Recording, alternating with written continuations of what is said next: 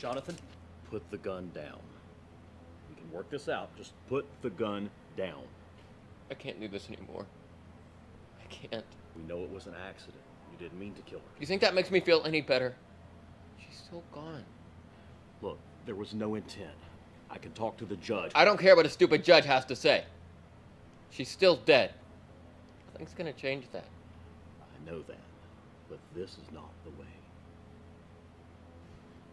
Maybe not for you. Congratulations, detective. You got your guy. You'll make headlines. You know what I get? What?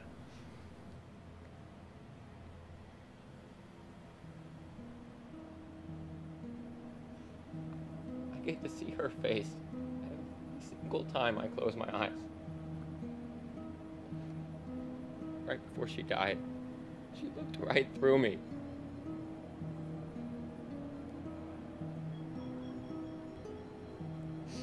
Her face is burned in my mind forever. Man, those memories will fade. I promise you. Just, Jonathan, we'll get through this. Just put, put, put, put the gun down. How can you act like that? How? She was your daughter! Do you think I don't know that? Do you know how many times I've thought about killing you? I didn't? Because you loved her. Man, you loved her, and, and deep down inside, I know you wouldn't do anything to hurt her. And it sucks.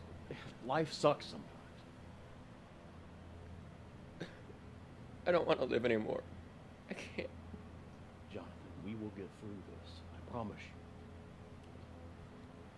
That's not good enough. I don't know what else to say.